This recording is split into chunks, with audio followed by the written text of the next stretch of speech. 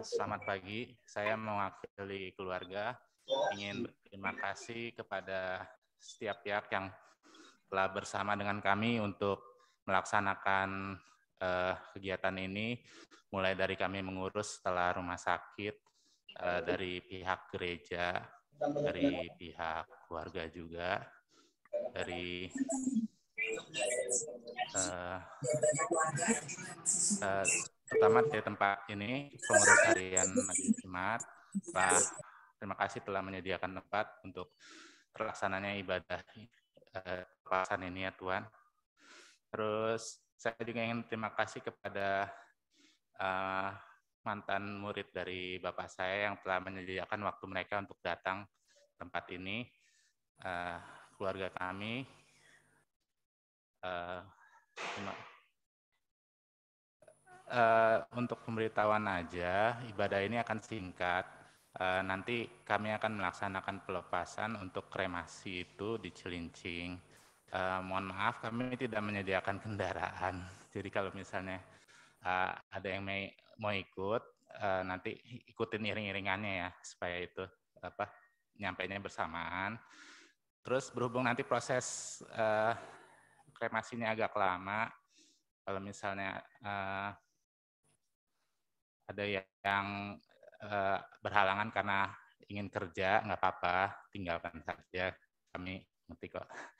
Uh, untuk dari kami itu aja. Terima kasih atas kehadirannya. Terima kasih atas ucapan bela sungkawanya. Terima kasih atas kerjasamanya. Amin.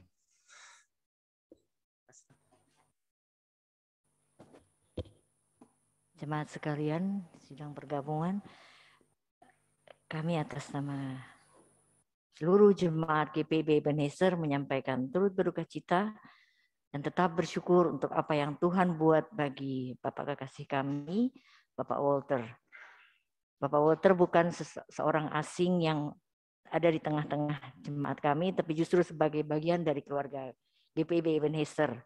Saya sebut bagian keluarga karena ketika dalam dinamika pelayanan yang berjalan, ada saat PEG mengadakan kegiatan sinterklas yang terpikir oleh personil-personil di PEG adalah seorang Bapak Walter yang cukup badannya cukup besar, cukup proporsional untuk boleh menolong kami untuk memerankan sinterklas.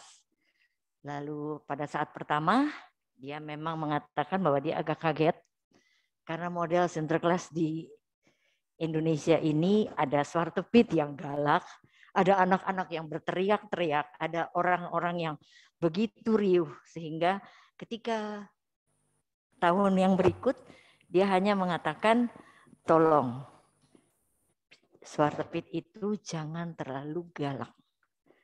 Anak-anak melihat sosok seorang berwarna hitam sudah takut. Jadi tidak perlu di takuti dengan pukulan sapu lidi atau ancaman untuk masuk karung. Ketika itu saya selalu mendampingi Joyce dan Walter untuk menemani ketika dalam proses dipakaikan pakaian sinterklas itu. Lalu dia hanya mengatakan, saya suka anak-anak, saya cinta anak-anak dan dia melakukan tugas atau membantu PEG dengan menjadi sinterklas itu bukan satu kali dua kali tapi ada beberapa kali yang kami rasa itu benar-benar membuat kami merasa bersyukur karena di tempat kami ada jemaat yang ikut mengambil bagian untuk boleh mensukseskan acara PEG ini. Dan kami percaya saat ini ada beberapa murid yang ada sekitaran peti jenazah dan pasti mereka pun punya kesan yang sama bahwa Walter adalah seorang yang sangat baik. Joyce mengatakan dia belajar sabar dari Walter. Dan kami percaya saat ini Tuhan akan tetap menolong, memberkati Joyce bersama dengan Sam. Dan biarlah ini bukan perpisahan, tapi hanya suatu perjalanan baru dalam kehidupan abadi kami. Terima kasih, Tuhan berkati.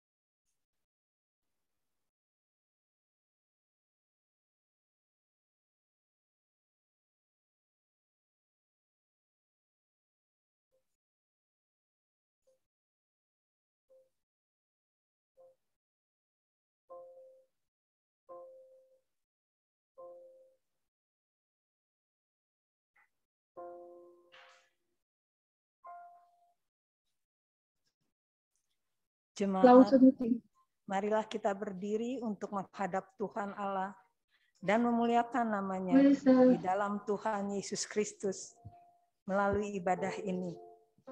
Karena perbuatannya yang ajaib, yang telah memanggil pulang ke dalam kemuliaan sorgawi, saudara kita Bapak Walter Bronsort.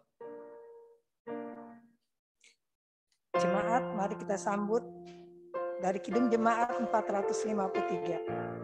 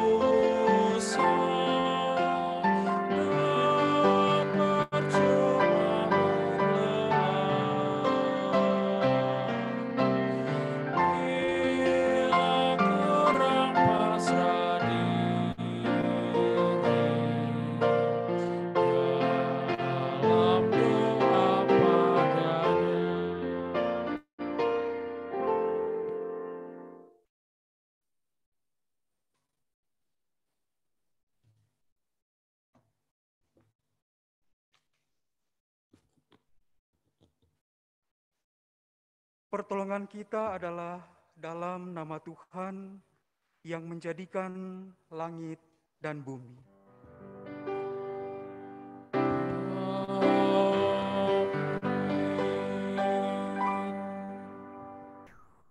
Dalam pergumulan iman kita saat ini, marilah kita ingat firman Tuhan. Jawab Yesus, Akulah kebangkitan dan hidup. Barang siapa percaya kepadaku, ia akan hidup walaupun ia sudah mati. Dan setiap orang yang hidup dan yang percaya kepadaku tidak akan mati selama-lamanya. Kasih karunia dan damai sejahtera dari Allah, Bapa dan Kristus Yesus, Juru Selamat kita, menyertai kamu. Silahkan duduk kembali. Thank you.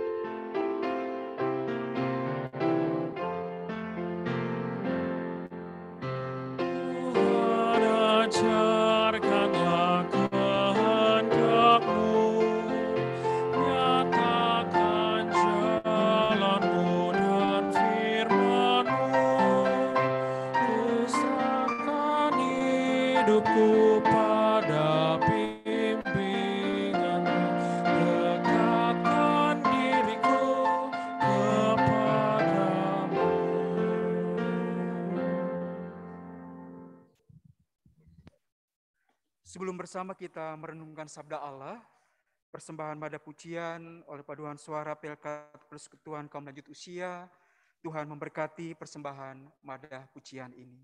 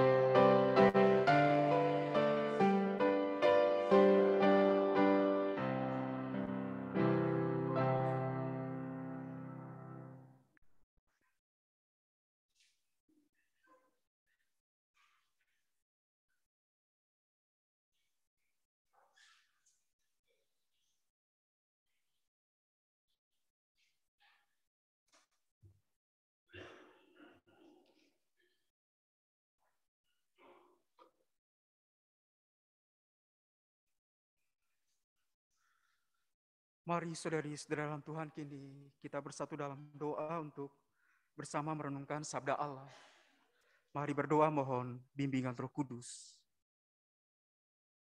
Ya Allah, Bapa Maha Kuasa dan Kekal, Engkau yang telah mengalahkan segala kegelapan maut, berilah firman-Mu menjadi pelita bagi kaki kami dan terang pada jalan kami agar kami tidak sesat dalam duka cita ini.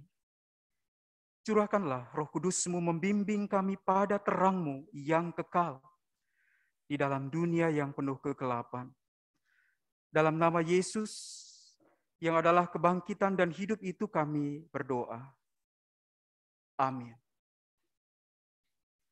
Saudari-saudara, marilah berdiri untuk mendengar firman Tuhan yang dibacakan dari Alkitab yang menyatakan menurut 2 Timotius pasalnya yang kedua, ayatnya yang ke-6 hingga ayatnya yang ke-8.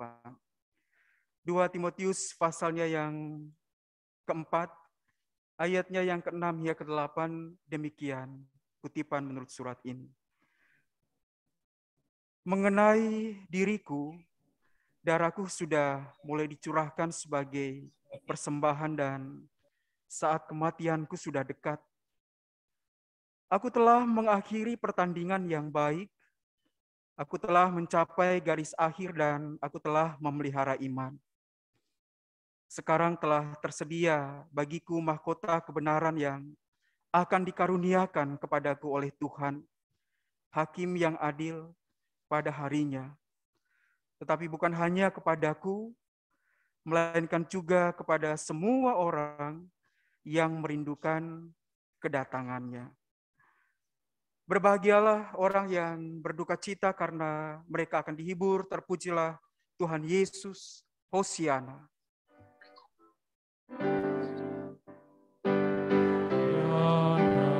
Hosiana.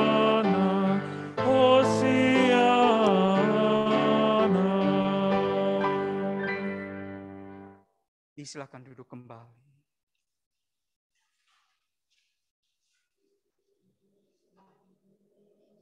Saya sudah mengikuti perlombaan dengan sebaik-baiknya dan sudah mencapai garis akhir.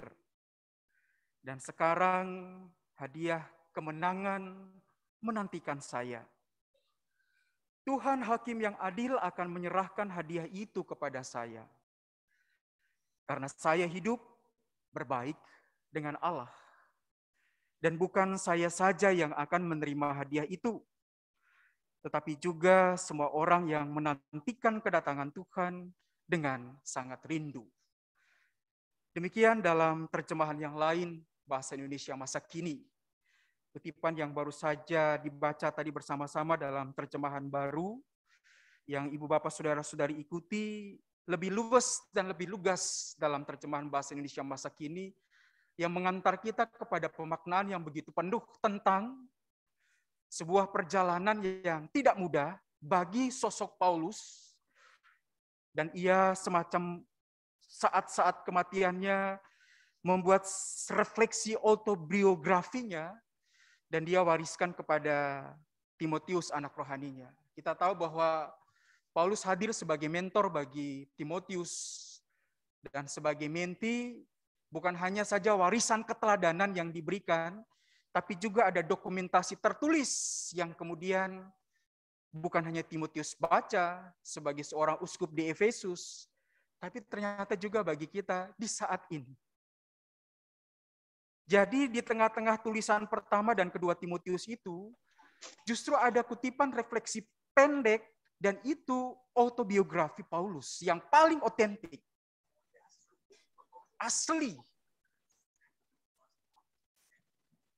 Saya sudah mengikuti perlombaan dengan sebaik-baiknya dan sudah mencapai garis akhir. Dan sekarang Hadiah kemenangan menantikan saya. Untuk sebuah realitas bahwa dia akan menuju kepada proses eksekusi. Sejarah menggambarkan ia dipenggal di Bukit Vatikan. Lalu dalam proses menuju ke sana, ia mengatakan ada hadiah kemenangan menantikan saya setelah proses panjang berjibaku, bergumul, bersusah-susah untuk sebuah kabar baik yang harus disampaikan dengan semua konsekuensinya. Termasuk akan dieksekusi. Dan baginya ada hadiah kemenangan yang menantikan saya. Dan dalam proses yang di dalam mata kacamata dunia itu tidak adil, baginya Tuhan hakim yang adil. Untuk sebuah proses di mana harga mahal harus dibayar itu, ia lalui. Dan sampai selesai, sampai ending. Untuk sebuah pengharapan yang kemudian mengatakan bahwa dalam perjalanan saya itu ternyata saya tidak sendiri, tetapi sudah bersama-sama dengan Allah yang menjadi kawan seperja, seperjalanan saya. Saya hidup berbaik dengan Allah. Dan dalam kondisi yang semacam itu ia mengatakan bahwa bukan hanya apresiasi akan dia dapat untuk sebuah perjalanan panjang dengan semua konsekuensi memberitakan Yesus, tapi juga ternyata ada pengharapan yang diberitakan kepada kita semua bahwa bagi kita semua juga yang siap sedia, disponibility, disponibilitas, ya saya siap untuk konsekuensi perjalanan memberitakan kabar baik bersama-sama dengan Yesus Kristus untuk semua konsekuensi perjalanan panjang itu, saya siap sedia disponibility, disponibilitas, dan itu mengandaikan konsekuensi terberat sekalipun. Dan kebanggaan bagi dirinya bahwa ia mencapai garis akhir dan sepanjang perjalanan hidupnya ia berbaik dengan Allah dan Allah berbaik juga dengannya. Masih ingat momentum di pintu gerbang Damaskus? Untuk sebuah pertanyaan, siapakah engkau? Dan Yesus mengatakan, akulah Yesus yang kau aniaya itu Saulus. Dan titik balik itulah yang kemudian mengantarnya siapa aku ini yang laknat. Sampah yang paling busuk. Tapi dicintai oleh Allah di dalam Kristus yang ternyata aku aniaya dalam hidupku dan sekarang memberikan kepadaku rahmat sebagai grace sebagai anugerah yang aku terima dengan cuma-cuma untuk sebuah perjalanan di mana aku melukainya. Yesus lewat melukai kekristenan pada waktu itu sebagai seorang persekutor. Tapi kemudian dia mengalami cinta sehabis-habisnya. Jadi tidak ada apa pun yang bisa membandingkan ketika dia sekarang menjadi hamba bersahaja untuk memberitakan Yesus yang pernah ia hianati, ia aniaya itu. Dan dalam perjalanannya di akhir hidupnya ia bersaksi tentang kebaikan Allah yang sudah ia terima. Bahkan untuk sebuah hadiah yang kemudian di dalamnya diterimanya bukan hanya untuk dirinya saja, tapi juga untuk semua. Disponibility, disponibilitas, siap sedia, tak mudah untuk kemudian kita maknai seiring dengan jawaban ya atas semua pertanyaan yang Tuhan tanya untuk kita semua mau setia atau tidak. Mulai dari baptis, CD, sampai perkawinan, hampir semua jenjang perjalanan kita selalu dikatakan iya dengan segenap hatiku. Itu bagian dari disponibility, disponibilitas. Dan konsekuensi dari itu semua adalah sampai dan dengan seperti yang mendiang alami selesai. Mengakhiri pertandingan dan mencapai garis akhir. Ada seorang kolumnis dia sering menulis kolom dalam surat kabar dan isinya itu semua yang serba humoris tentang realitas warga Amerika Serikat di sekitaran tahun 1965 secara khusus di pinggir-pinggir kota kaum suburban itu. Nama beliau adalah Irma Bombek, seorang ibu Lalu di penghujung hidupnya, dia semacam membuat refleksi autobiografinya dan dia mengatakan bahwa tatkala aku berdiri di hadapan Tuhan pada penghujung hidupku, aku berharap bahwa tak kusisakan secuil apa pun kemampuanku dan kini bisa berkata, telah kugunakan semua yang sudah engkau, E dengan huruf besar, berikan kepadaku. Untuk hari-hari perjalanannya ketika ia tutup usia di usia 69 tahun, Lalu dia merefleksikan itu bahwa tak akan kusisahkan sedikit pun apa semua yang anugerah sudah Tuhan karuniakan untuk saya. Dan kalau kemudian sekarang saya berdiri di penghujung hidup saya, saya mengatakan, Tuhan, jika kini saatnya aku berpulang, ku persembahkan, mendedikasikan semua yang sudah engkau karuniakan kepada saya, yang sudah kugunakan semua yang sudah engkau berikan itu, dan kupersembahkan kepadamu. Dedikasi selalu merupakan bagian dari sisi yang lain dari disponibility atau disponibilitas. Persembahan hidup yang otentik, yang utuh, yang penuh, bersamaan dengan kesiapsediaan untuk menjawab semua konsekuensi hidup yang di dalamnya dilalui sampai selesai. Dan proses itulah yang paling tidak sudah dilalui oleh saudara kekasih kita, mendiang Pak Walter saya sangat senang sekali ketika beliau memberikan kepada saya sebuah majalah yang di dalamnya ada profil dari mendiang ketika mengunjungi Gandhi School di Ancol, lalu berjalan berkelilingi ditemani oleh beliau dengan begitu antusias menjelaskan semua proses pembelajaran, semangat untuk membaca, semangat untuk terus-menerus belajar, dan beliau memberikan majalah yang di dalamnya ada profil dari mendiang. Saya sangat senang sekali karena sekalipun profilnya begitu pendek tentang pribadi beliau yang pada waktu itu menjadi kepala sekolah di Gandhi School di Ancol, tapi isinya dari profil beliau yang beliau tulis sendiri dalam majalah ini begitu padat dengan makna. Di antaranya beliau mengatakan, I am older No. Yes, as a lifelong learner and reader, I'm very, very lucky that here in Indonesia, where I live now, I'm still able to share that knowledge. Learning and teaching are a lifetime interest, if not passion or compulsion. I would define teaching and education as process of facilitating students to learn not just imparting knowledge, It is a process of enabling, empowering learners. I try to remember always that it's better to teach adults and children to love to do something, to love to do something than simply how to do that something learning. To me, learning has got to be more about wanting to know than having to know. Belajar seumur hidup dari anak-anak maupun orang dewasa di Indonesia. Untuk sebuah perjalanan tentang dalam proses mengajar itu baginya lebih baik setiap mereka yang menjadi peserta didik itu mencintai.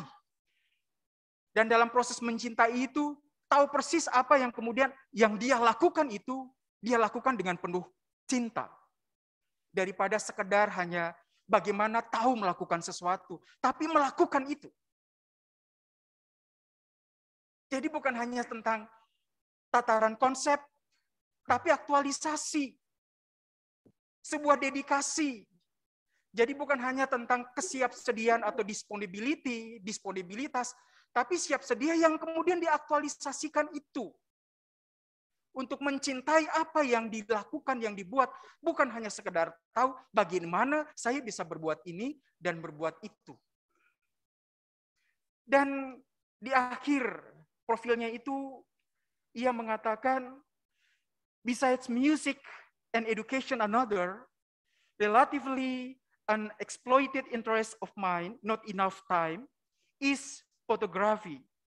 Indonesia is rich, unbelievable. So, in the diversity of its geography, its colors, and its people, that the only way to preserve the somewhat fleeting visions of its masterpiece is to able it's to be able to record those images with a camera.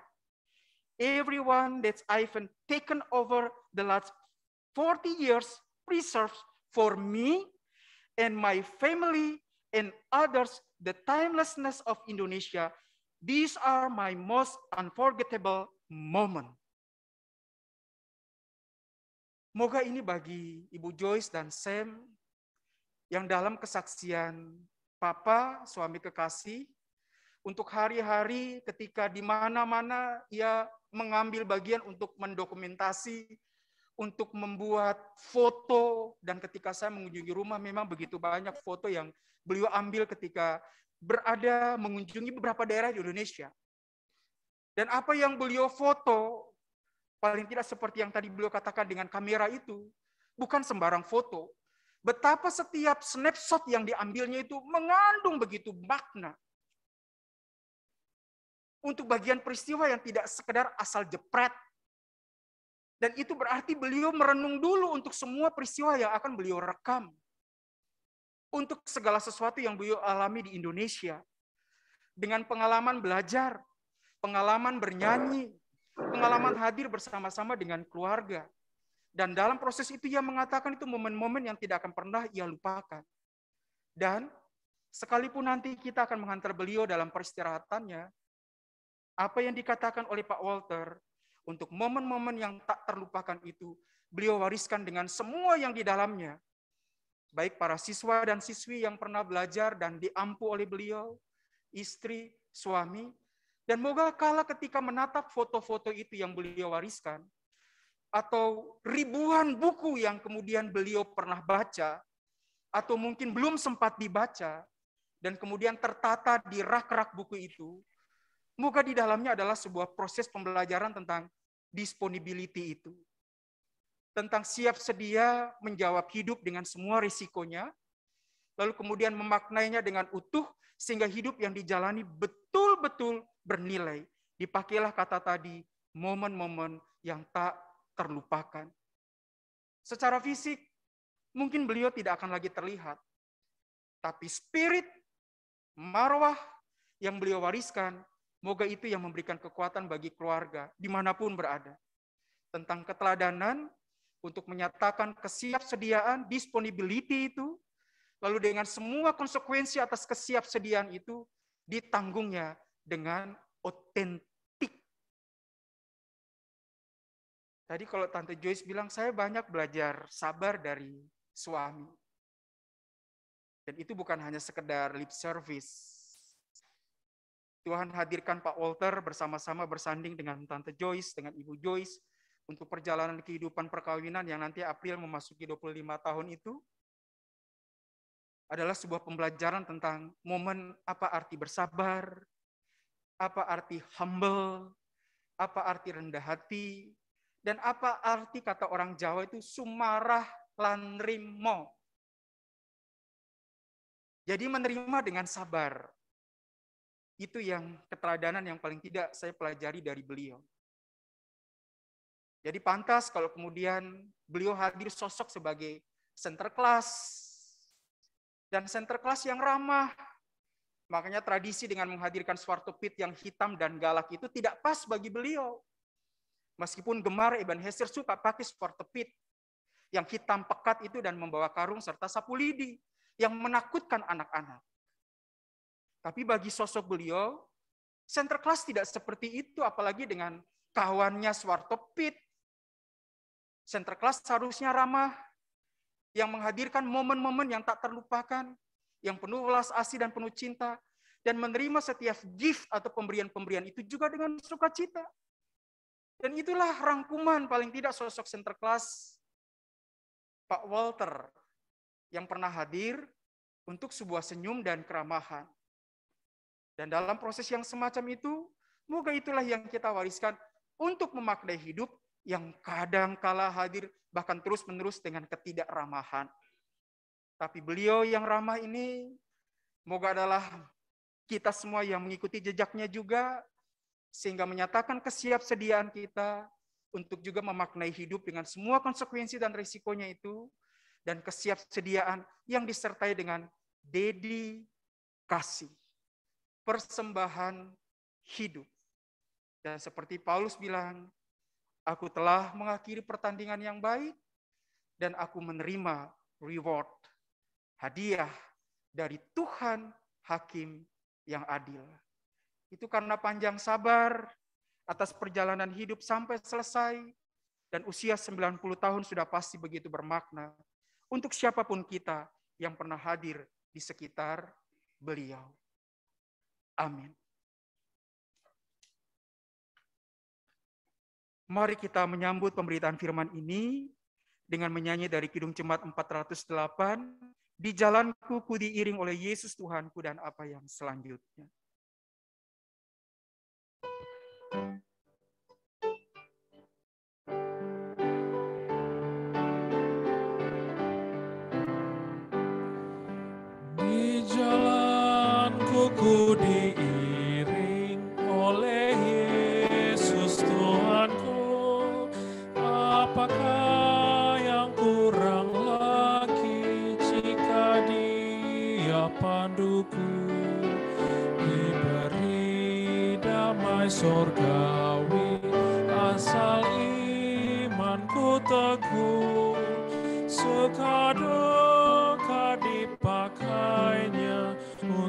kebaikanku suka dipakainya untuk kebaikanku. Marilah saudari-saudari dalam Tuhan kini diundang untuk berdiri dan bersama semua orang percaya di segala waktu dan tempat.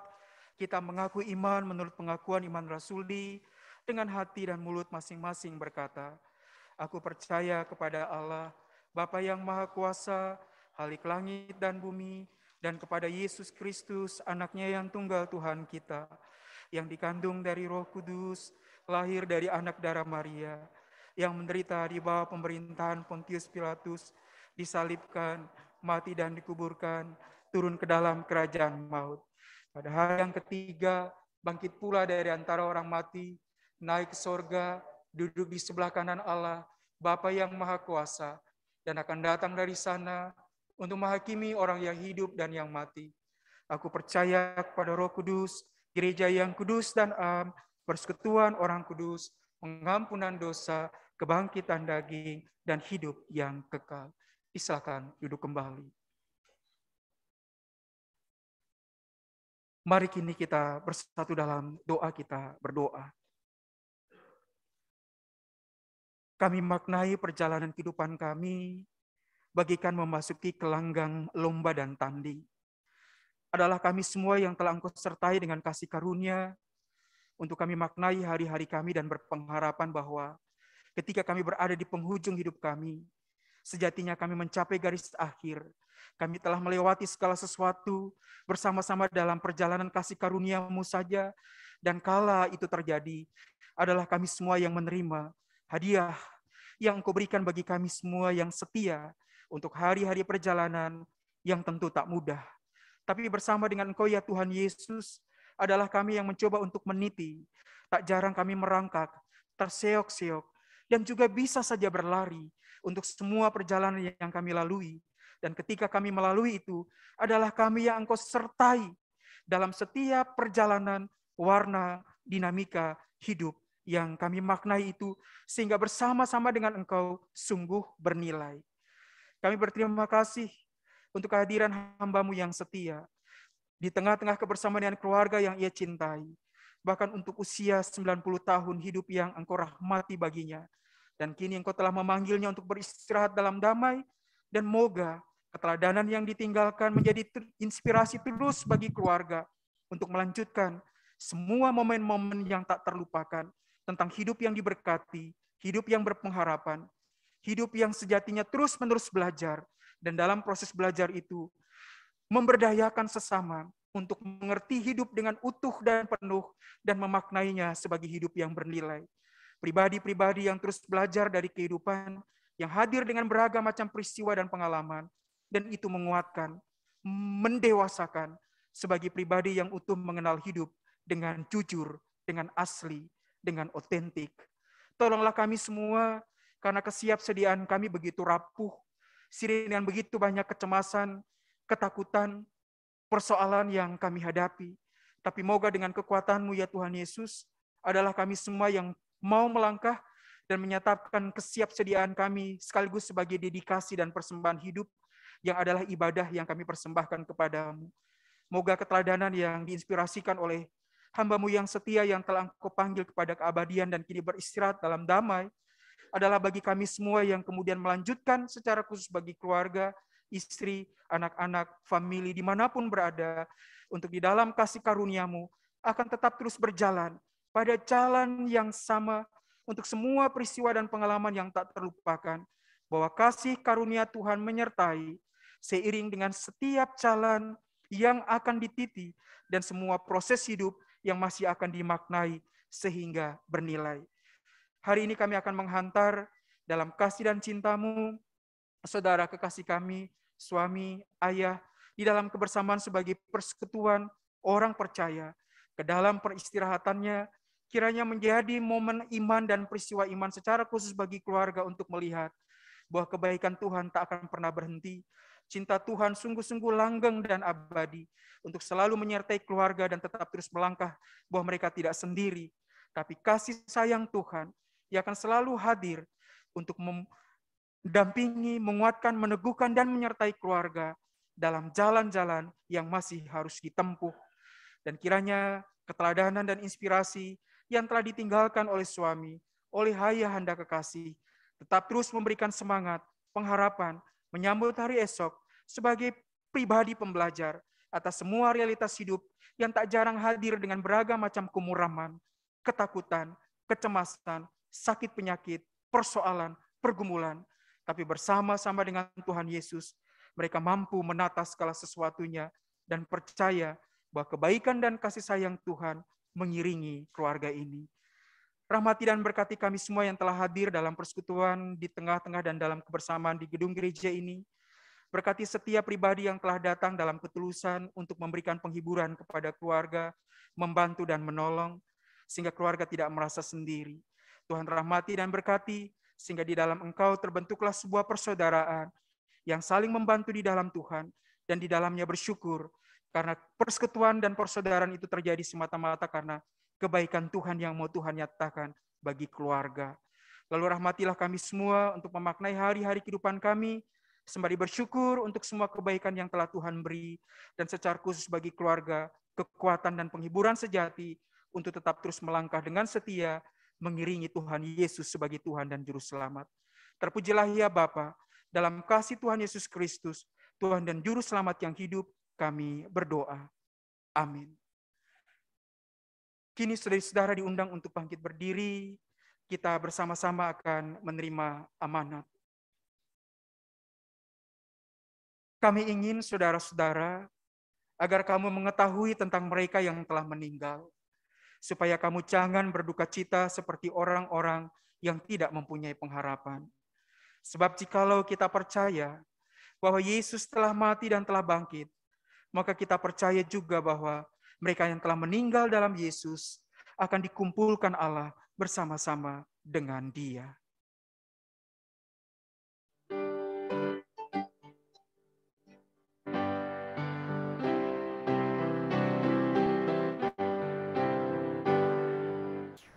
Ingat nama Yesus, kau yang susah dan sedih.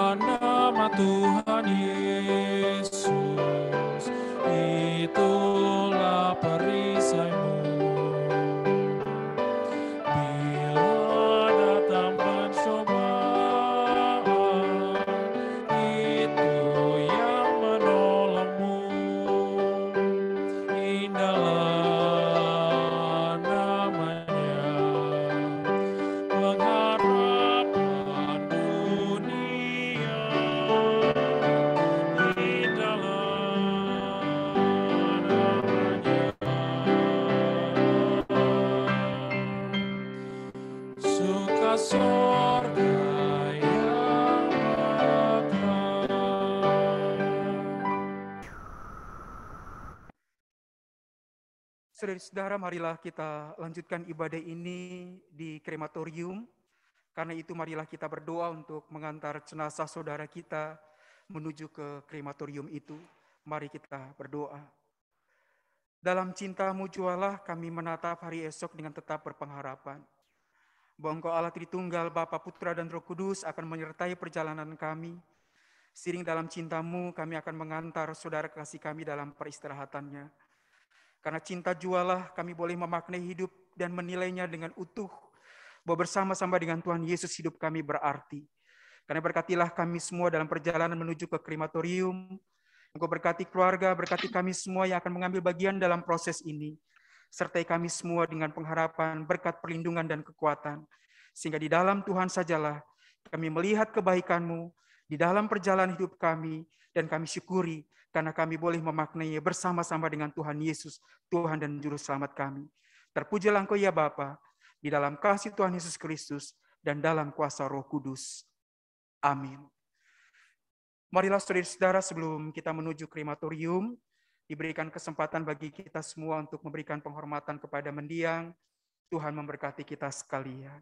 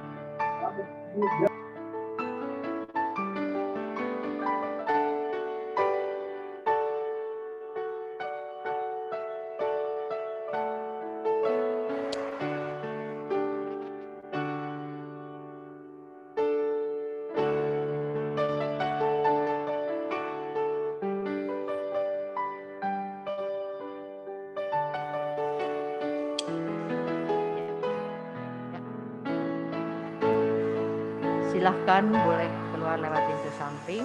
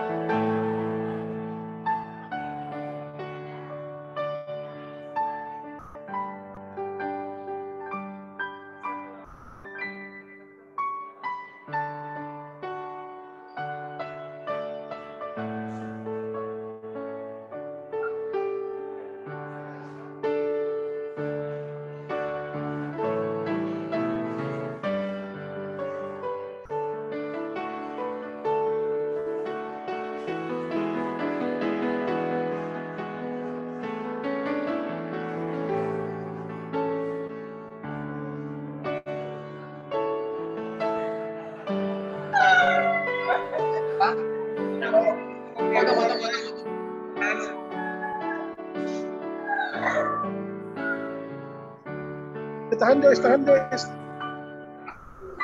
Okay?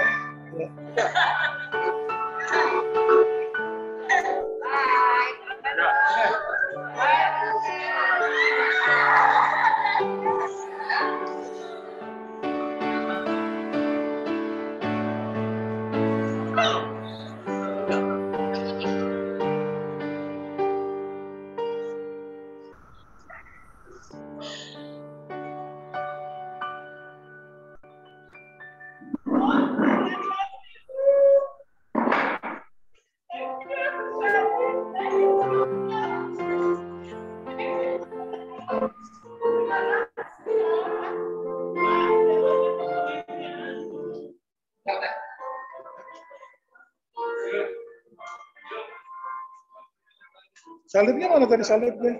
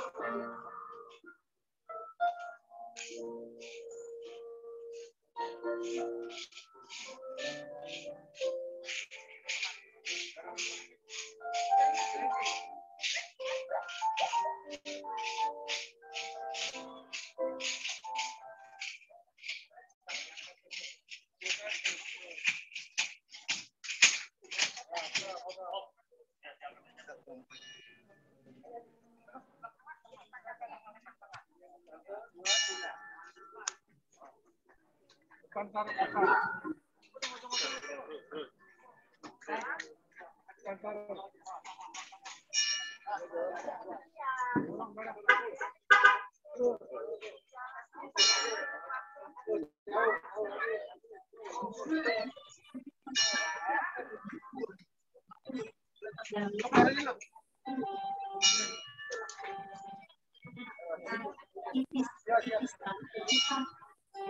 Alfa mana di mobil?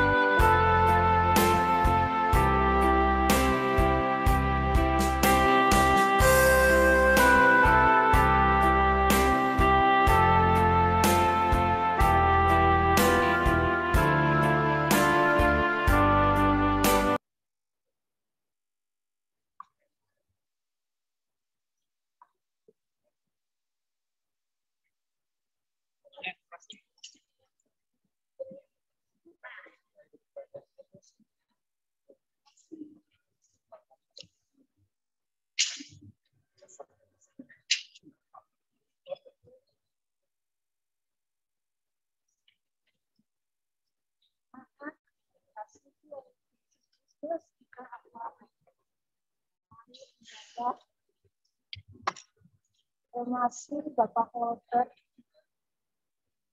Mari kita berdoa sejenak.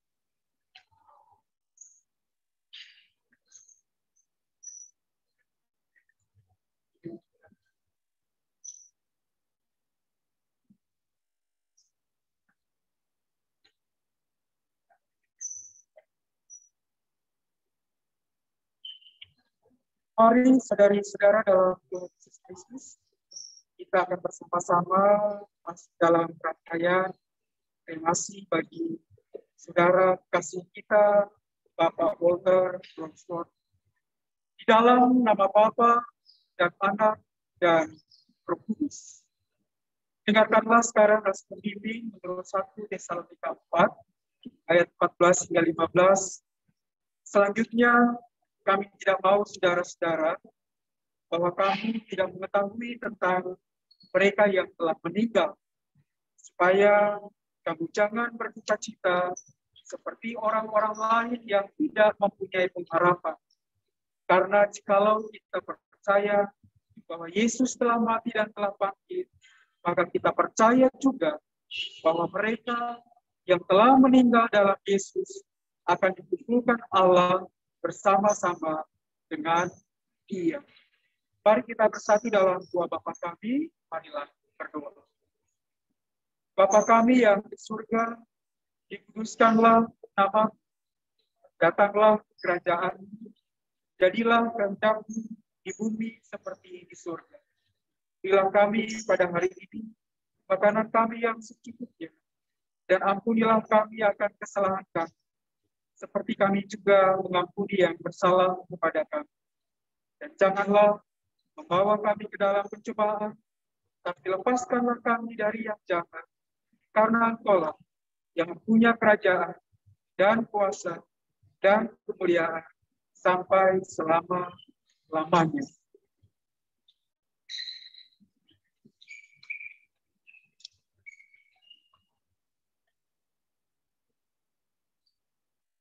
Saudari-saudara, sekarang kita akan memperabukan jenazah kekasih kita, Bapak Walter Bronsworth. Debu adalah asal tubuh manusia, sebab engkau debu dan engkau akan kembali menjadi debu.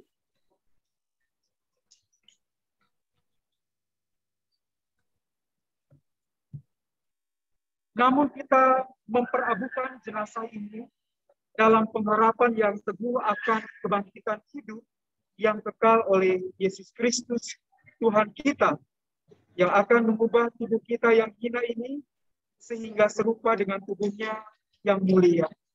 Menurut kuasanya yang dapat menaklukkan segala sesuatu kepada dirinya. Mari kita bersama-sama menaikkan pada pujian Kidung Jumat 445, harap akan Tuhan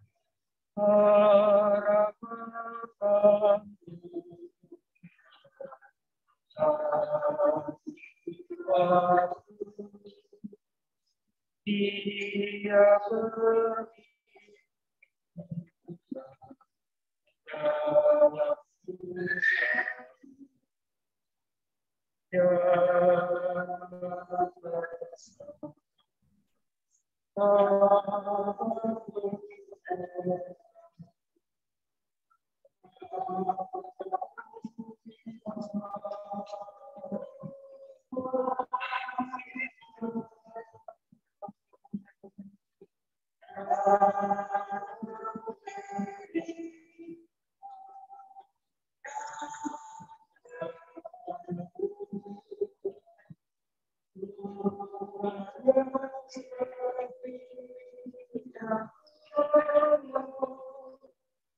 pergi Mari kita pergi dalam damai sejahteranya dan dimalah berkat Tuhan. Damai sejahtera Allah yang melampaui segala akal akan memelihara hati dan pikiranmu dalam Kristus Yesus dari sekarang sampai selama-lamanya. Amin. Amin. Amin.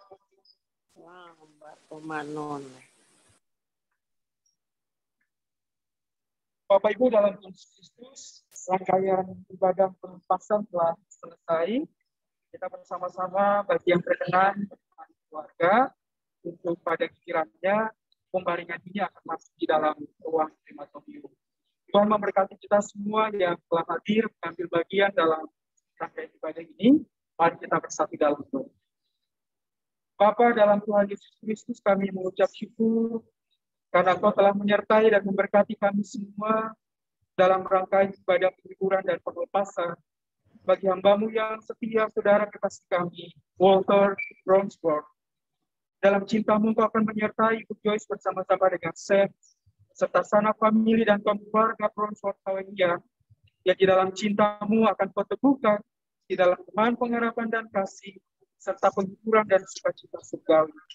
Kami yakin dan percaya bahwa dalam perjalanan kehidupan kami, kami akan memaknainya secara utuh dalam sukacita, di dalam bingkai iman pengharapan dan kasih, karena kasih setia Tuhan Yesus yang menyertai kami semua secara khusus bagi keluarga Ronsford Kawinia.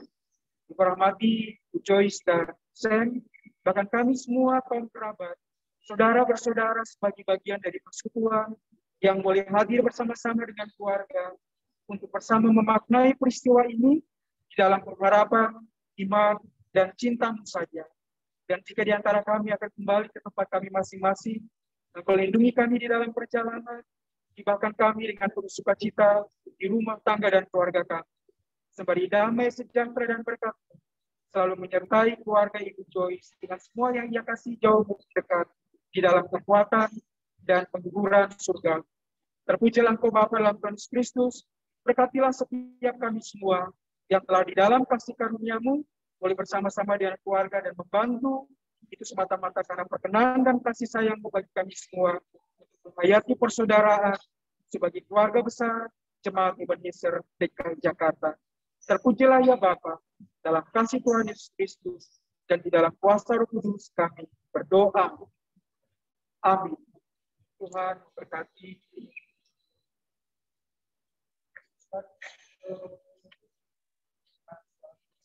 Terima kasih.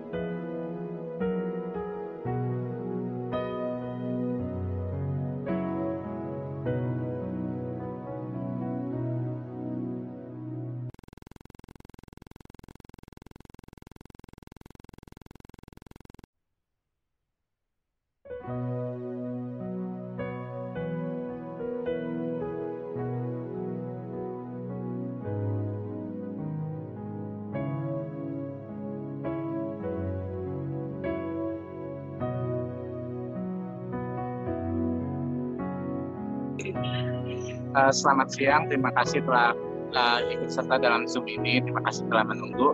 Uh, saat ini uh, jenazah sudah dimasukkan ke tubuh oven uh, untuk uh, setelah untuk saat ini ibadah selesai ibadah Zoom.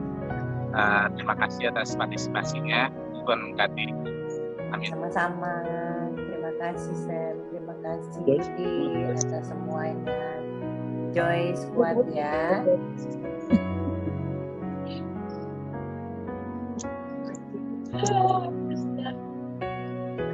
Father, I love him. I love the Father. And God loves him. Thanks for our friends here who are already supporting us more than anything. Um, I love you all. Eva, Naida, Alice, Luther, and Siken. I love you all. I love you. God bless you.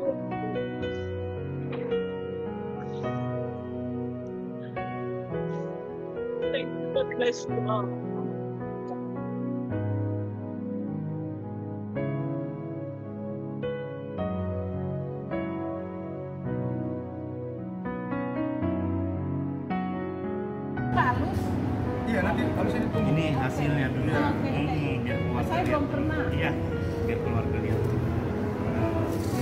Lain mau lihat nggak apa-apa pak boleh silakan silakan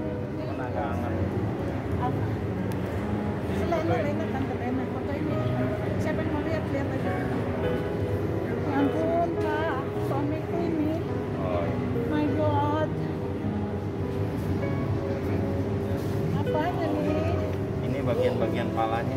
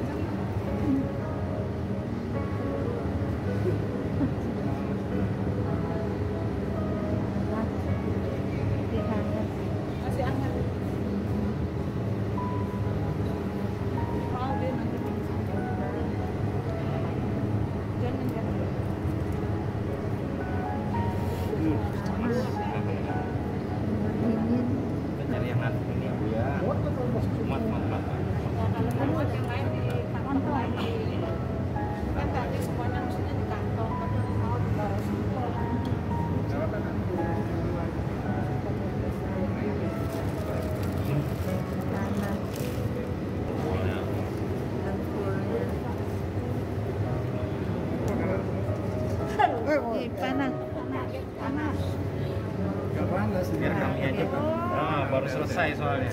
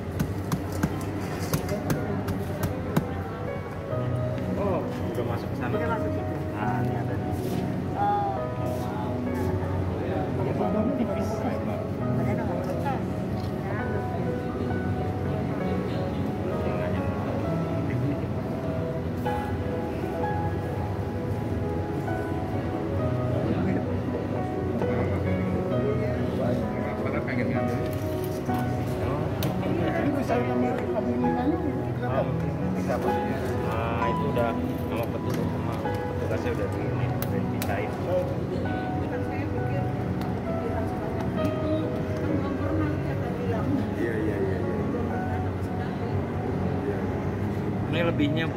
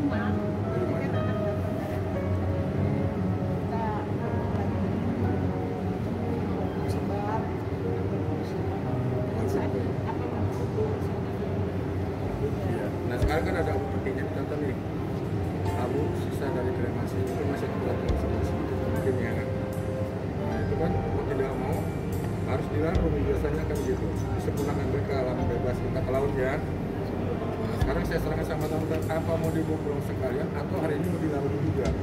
Kita persiapannya sudah ada. Sudah ya. Pak? Amir anak anak